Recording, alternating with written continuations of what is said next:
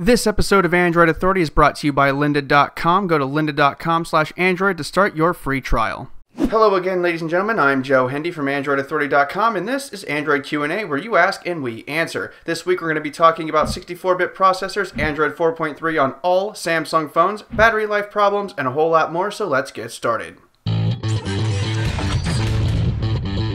Balraj asks, wait for 64-bit processor from Android or buy an Android phone with a 32-bit processor. I plan to have my phone for at least two years.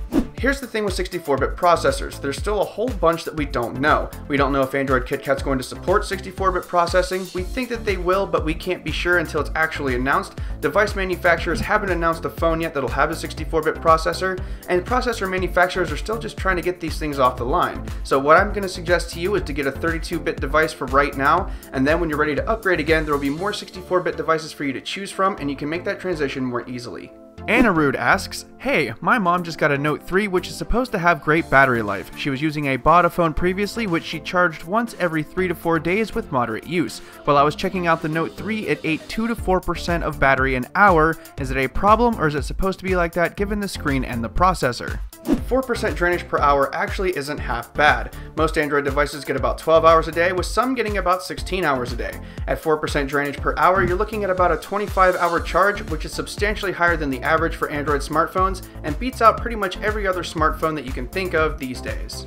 Xenoslug asks, what is a stable AOSP ROM based on Android 4.3 for the Galaxy S2 i9100G? Any ideas for use as a daily driver? I did a little searching and I found out that CyanogenMod 10.2 is available for the Samsung Galaxy S2 i9100G. According to their known issues page, there are no known issues with this ROM, so if I were to recommend one, it would be that one. Of course, be sure to make an Android backup just in case there's something wrong that's not on their known issues page, so you can revert back if you need to.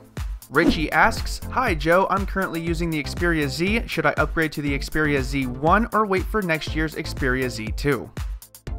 That's a really good question. The Xperia Z1 is an amazing device with some great specs, but according to rumors, the Z2 is going to be even better. However, those same rumors say that the phone isn't supposed to be released until next spring, or about 6 months from now. So the question I have to ask myself is, do I want to wait 6 months for my next smartphone? If the answer to that question is yes, then I would keep what I have and just wait for the Z2 to drop. If the answer to that question is no, then go ahead and get the Z1. It's still a really great device and you really can't go wrong with either of them. Lots of people asked, when will the Galaxy S3, Galaxy S4, and Galaxy Note 2 get the Android 4.3 update? According to Samsung, the update should be finished and rolling out to people by the end of October. Of course, that time may change depending on your carrier. Some people may get it in October, others may have to wait for November and December, and for Verizon customers, it'll happen eventually. Given the number of carriers and devices that have to be updated, I can't give exact dates because none of them have been announced yet, so just be patient because it is coming.